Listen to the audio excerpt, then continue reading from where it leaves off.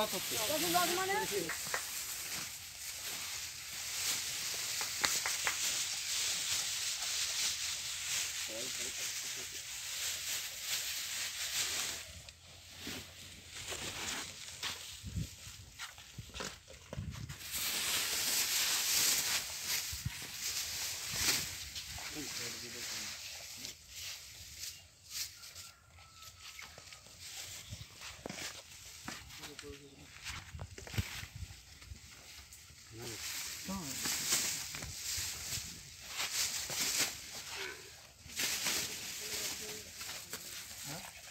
ঠিকানাটা বলে দাও এটা এটা না এটা মাছদিয়া মাছদিয়া ইনসুরা মাছদিয়া বলাগড়। হুগলি। ঠিক আছে। কিছুটা মতো লোক আমি এডিও আর বিওকে ধরে নি। যারা কি এই হাল কতদিন রাখা যাবে? এই এই করে তো আর বাঁচা যাবে না। এই করে কেউ বাঁচতে পারে? আচ্ছা। সার যে সার আমরা দেখেছি দুই বছর আগে পাঁচশো টাকা ছিল সেই সার ফট করে হয়ে গেল বারোশো টাকা। বারোশো টাকা সারটা সেইখানে হয়ে গেল ষোলোশো টাকা। দেখতে দেখতে সেই সারটা হয়ে গেল আঠেরোশো টাকা।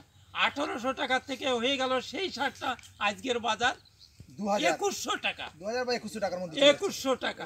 তাহলে এই যে যে সারটার দাম বাড়ছে প্রকৃতপক্ষে সরকার বাড়াচ্ছেন না ব্যবসায়ীরা বাড়াচ্ছেন?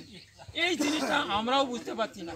আমরা একজনে দুইজন হয়তো সার কিনতে যাচ্ছি একজনকে বলছে যে সারের সার নাই যা আছে তোমাদের মতো হবে। দু একখানা বস্তা আছে নিয়ে যাও। এইরকমভাবে আমরা দেখছি যে আমাদের দিতেই হবে যে কোনো কায়দায়। দেখা যাচ্ছে যে বাড়ি থেকে ছেলে মেয়ের গহনা যা দু একখানা থাকে বন্ধক দিয়ে সেইটা নিয়ে আসছি। তার পরের দিন যাচ্ছি আবার বলছে সারের দাম আগুন। সার নেই বাজারে। মানে সার নিয়ে কি কালোবাজারি হচ্ছে কিছুটা? কালো আমি যাচ্ছি। বলছে এক রেট বলছে এইভাবে সার চালাচ্ছে। তাহলে চাষি যাবে কোথায়? এই মার্কেটে এই মার্কেটে দাম একই তো। তিন টাকা চার টাকা। তাইলে এই চাষির এবার বিষ খাওয়া ছাড়া আর কোনো উপায় নেই।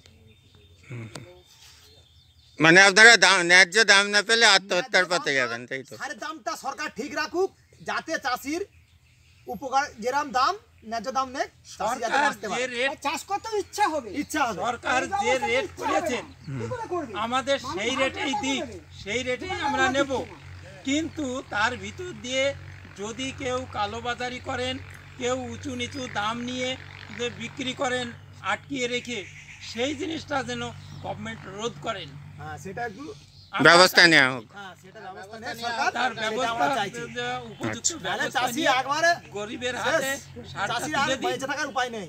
এবার বীজ ছাড়া কিচ্ছু নেই। ন্যায্য মূল্য পয়সা আমরা পাচ্ছি না। আমাদের প্রচুর পরিশ্রম করতে হয়। সকাল থেকে সন্ধ্যে পর্যন্ত এবং আমাদের খাওয়া দাওয়াও হয়তো ঠিক মতন হয় না। একবেলা হয়তো খাওয়া জোটেও না। এমন একটু সময় আছে, এখন শশা তোলার সময়। আমাদের সকালের ভাত, আমাদের সন্ধ্যেই খেতে হচ্ছে। তাহলে আমরা এই করতে করতে কতদিন বাঁচবো? দুটো যদি পয়সা না পেয়ে থাকি, তারপরে সারের দাম এত বেড়ে গেছে। এত কিছু এত পরিমাণে সারের দাম বেড়ে গেছে যা আমাদের চাষিদের পক্ষে কিনা সম্ভব হচ্ছে না। আর পয়সা তো আমরা ঠিক মতন পাচ্ছি না কোনোদিন পাচ্ছি কী বলে কোনোদিন পাচ্ছি না। পয়সা তারা নিয়ে আসছে বলছে আমরা আমরা বেচা কিনা করতে পারছি না তারা আমাদের থেকে দেবে? এইভাবে করতে করতে আমাদের ফসলটাই নষ্ট হয়ে যাচ্ছে। আমরা যদি ন্যায্য মূল্য দিতে পারছি না ন্যায্য মূল্য পয়সা যদি ঠিক মতন না পাই তাহলে আমরা এই ফসলটা ফলাবো কি করে? দেশের কি বলে যে এই এত প্রোডাকশন কি করে করাবো? আমরা চাষিরাই তো তাদেরকে খাইয়ে দৌড়িয়ে পড়িয়ে বাঁচিয়ে রাখছি। তাহলে আমাদের বিষয় তারা যদি না লক্ষ্য রাখে তাহলে আমরা কি করে চলি? আমাদের যা অবস্থা হয়ে গেছে আমাদের মনে হয় খুব শীঘ্র আমাদের মৃত্যু এগিয়ে আসছে। মনে হয় খুব শীঘ্র এই ফসলের যদি আমরা ন্যায্য না পেয়ে থাকি পরে এই পরেই আমাদের এই চাষ উঠিয়ে দিয়ে আমাদের বউ ছেলে মেয়ে নিয়ে মনে হয়তো আমাদের রাস্তায় পথে বসতে হবে। বাটি নিয়ে হয়তো আমাদের রাস্তায় নামতে হবে। তাহলে বাটি যদি নিয়ে না আমরা রাস্তায় নেমে থাকি তারা তারা খুব সুন্দর কি বলে যে দেখে বলবে না ভালো হয়েছে। আমাদেরকে দশ পয়সা দেবে তাহলে আমাদের সংসারটা চলে যাবে। তাহলে আমরা চা- চাষিরা আর চাষ করতে আমরা আর পারব না। ওই রাস্তা রাস্তা ঘুরবো শেষ হয়ে যাক। একটা শ্রেণি। শেষ হয়ে যাক। যে চাষির শ্রেণীটা শেষ করতে চাইছে কেন? চাষিরাই তো সব থেকে বড় হাতিয়ার। চাষিরা ছাড়া তো অন্য কিচ্ছু করতে পারবে না। দেশের খাদ্য যত কিছু সব চাষিদের উপর নির্ভর। চাষিদের কাছে যদি পয়সা থাকে সবাইকার কাছে পয়সা থাকবে। কারণ চাষিরা যখনই দুটো পয়সা পাবে হয়তো একটু মাংস কিনবে একটা ভালো জামা কাপড় পরাবে ছেলে মেয়েকে তাহলে প্রত্যেকটা লোক পয়সাটা পাবে। চাষি কোনোদিন পয়সা নিজের হাতে বঞ্চিত করে রাখতে পারে না যে আচ্ছা করে তগত করে নেব পারে না। দুটো পয়সা চাষির হাতে হলে চাষির মনে ফুর্তি হবে এবং সে বলবে আমার ছেলেটাকে একটা ভালো জামা কিনে দিই আমার ছেলেটাকে ভালো একটা স্কুলে পড়াই। স্কুলে পড়াই। প্রত্যেকেই পরস্পর লেভেলে প্রত্যেক প্রত্যেকে। আমি একটা ভালো ওষুধ দেওয়া মেশিন কিনতে পারব। যদি মেশিনটা কিনতে পারি তাহলে তার দাম সাড়ে চার হাজার পাঁচ হাজার টাকা। তাহলে সেই যে দোকানদার বসে আছে সেই দোকানদারটা পয়সাটা পাচ্ছে। চাষি যদি পয়সা না পায় তাহলে প্রত্যেক লোক কি করে পয়সাটা পাবে? চাষির হাতে পয়সা না থাকলে কোনো শ্রেণি বাঁচার ক্ষমতা নেই। সব চাষিরা প্রত্যেকে আমরা এই এলাকার সবাই শশার চাষি। কেউই ধনী নয় সবাই গরিব। কেউ পরের জমি নিয়ে চাষ করছে কেউ জোন খাটছে কেউ মানে ধার দেনা করে সমস্ত চাষাবাদ করছে। করে সেই শশা নিয়ে এসে আমরা ন্যায্য পয়সা তো পাচ্ছি না। উপরন্তু এই এইখান থেকে ব্যবসায়ীরা যা শশা হচ্ছে আজকের পয়সাটা তিন দিন পর পাচ্ছি। তিন দিন পরে বাজার দর জানতে পাচ্ছি। তাহলে আমরা কতদিন ধরে এই রকম করব। একটা মানুষ যদি আজকে ফসল দিয়ে তিন দিন পরে যদি বাজার দর পায় বা বাজার দর শোনে তাহলে কি করে আমরা এই চাষ তিন দিন পরে সে বলছে চার টাকা বাজার। তিন দিন পরে সে বলছে সাড়ে তিন টাকা বাজার। তিন দিন পর সে বলছে বড় জোর পাঁচ টাকা বাজার সাড়ে পাঁচ টাকা বাজার। কিন্তু এই শশাটা কি সত্যি সত্যি সাত টাকা আট টাকায় বিক্রি হয়? এই শশাটা কি যারা খাচ্ছে তাদের কাছে পৌঁছতে কি দু টাকা তিন টাকা চার টাকা কেজিতে খরচ হয়? হলোই বা চার টাকা খরচ হলোই বা। তাহলে যারা খাচ্ছে তারা কেন পঞ্চাশ টাকায় খাচ্ছে? খাবে?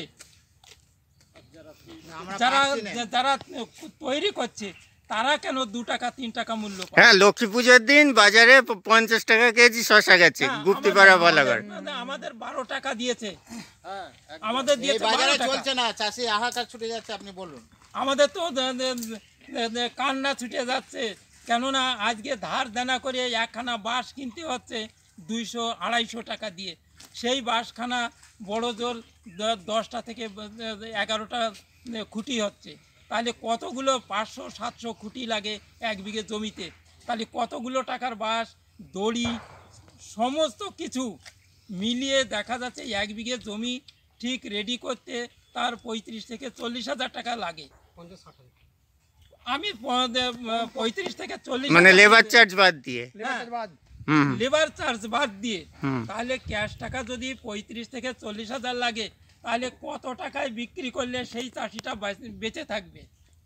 আমাদের ন্যায্য কিছুটা অন্তত আমাদের বেঁচে থাকার মতো পয়সা দিই। আচ্ছা। আমাদের বেশি নয় আমাদের বেঁচে থাকার মতো পয়সা দিই। পাই ওষুধের দাম সারের দাম আগুন এত খরচা করে কিছুই থাকছে না ওই জন্য যে ধার দিনা হয়ে যাচ্ছে ন্যায্য পয়সা পাচ্ছে না সেটা যাতে পায় তার জন্য সরকারি চিন্তা ভাবনা করে নি কালকে হয়ে গেছে উনিশশো আজকে আজকে শুনলাম দু হাজার টাকা হয়ে গেছে শুনলাম। একুশশো আজকে আমি আনতে গেছিলাম প্রচুর দাম বেড়ে গেছে। একটা লোক পালিশ হচ্ছে তিন হাজার টাকা দাম। তা মানুষ কি করে কি চাষ করবে?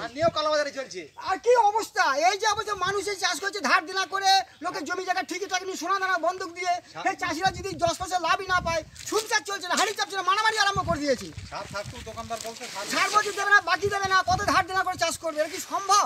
এটা কোনো সরকার বা কোনো সাধারণ মানুষ যদি করে এটা দীর্ঘ না করে চাষিরা বাঁচবে কি করে। সরকারকে দেখতে হবে এটা। হ্যাঁ ন্যায্য যাতে পয়সাটা ন্যায্য মূল্য যাতে পায় তার জন্য একটা আবেদন করা আমি চাষি সব পড়ে আছে কোনো মালের দাম নেই এইভাবে পড়ে আছে। ব্যবসাদার বলছে আমরা নেব না আমাদের মাল বিক্রি নেই আমরা কি করব? পয়সা দিতে পারছে না ওরা। চাষিরা দিনের পর দিন পয়সা চাইছে চেয়ে চেয়ে মাথা খারাপ হয়ে যাচ্ছে। আচ্ছা বিক্রি হচ্ছে ক- কত টাকায়? পাঁচ টাকা।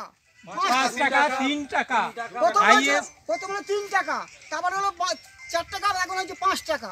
তো পাঁচ টাকা এক কাপ চায়ের দাম গরম জলের দাম পাঁচ টাকা সেই মূল্যটাও নেই। তাহলে কোন দেশে আমরা বাস করছি?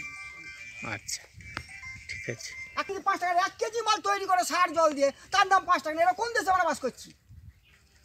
আমরা বলছি না আহামরি পঞ্চাশ একশো টাকা চাইছি না ন্যায্য পয়সাটা যেন সব পাই সেই জন্য চাষিদের একটা মানে বিরাট ক্ষোভ বা দুঃখজনক। আচ্ছা। হ্যাঁ? তারাই তো নিয়ে সব কিছু হ্যাঁ, করছে।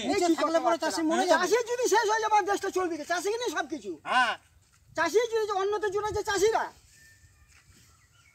চাষিরাই যদি শেষ হয়ে যায় তাহলে কাকে নিয়ে চলবে? প্রোডাকশন তো ওরাই করছে। আর চাষির ফসলের দাম নেই। না। চাষির ফসলের দাম নেই সারের দাম আছে। কি হবে হ্যাঁ সারের দাম আছে। সারের দাম ওষুধের দাম মারাত্মক। সব কিছু দিতে হচ্ছে জল ট্যাক্স এ ট্যাক্স সব কিছু অথচ মানে বাড়ি গিয়ে বা বই বইয়ের সঙ্গে মারামারি ঠাঙাঠাঙি। হচ্ছে না দুদিন পরে আবার গলা দড়ি নিতে হবে। হ্যাঁ সত্যি? গলা দড়ি ছাড়া উপায় নেই। না। সব জায়গাতেই তো ছবি তৈরি হবে এত কষ্ট দিন দুঃখ চাষির। এইগুলোই তো দরকার যে চাষির এত কষ্ট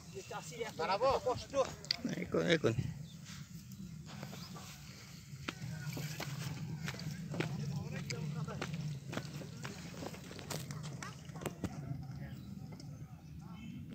আর পয়সা নেই।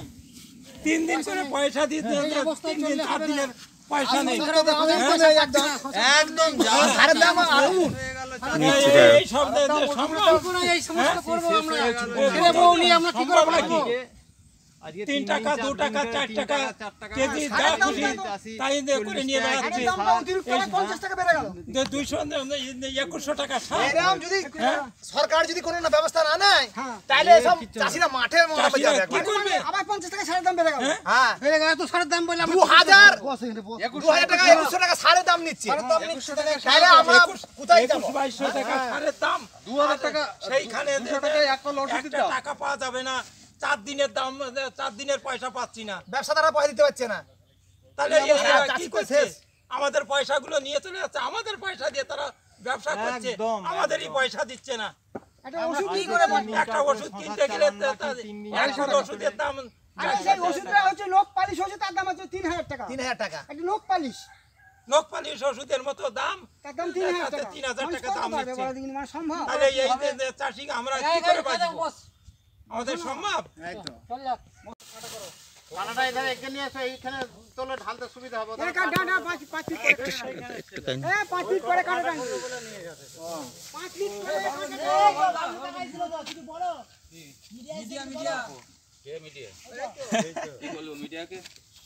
তিন টাকার শসা তিন টাকার শসা বিক্রি করে আমাদের পেট চলছে।